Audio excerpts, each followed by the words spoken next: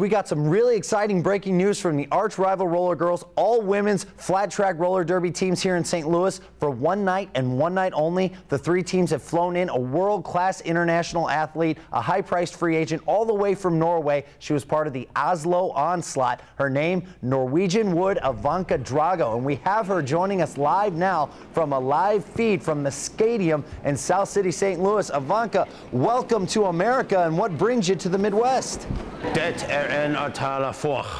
Opp på meg, versum, verden herredommet. Well, Ivanka, certainly you come to town with one heck of a resume and a lot of hype has followed you across the Atlantic Ocean. For the American fans that don't know you, tell us what kind of a skater you are. Je nassing, je odelej, je ostraf, je kan. Ik vare stanset. Well, Ivanka, we know you have a big tryout ahead of you tonight to see which team you end up on, and we're going to be watching that tryout live on our live feed on CW11. Best of luck to you, and go get them. Joha seg klar for sportscasters a skirk.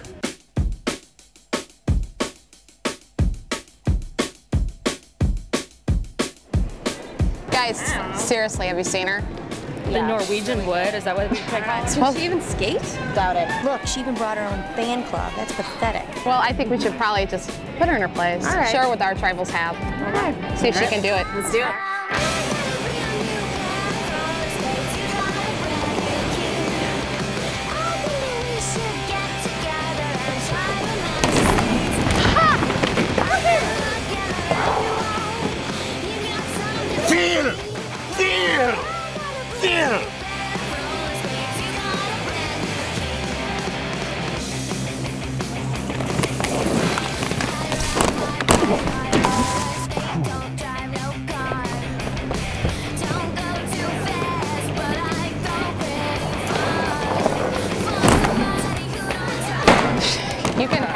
No thanks. She looks like a stunt devil. We have too many blockers on our team. M80s don't want her.